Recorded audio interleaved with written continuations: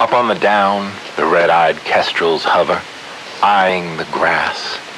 The field mouse flits like a shadow into cover as their shadows pass.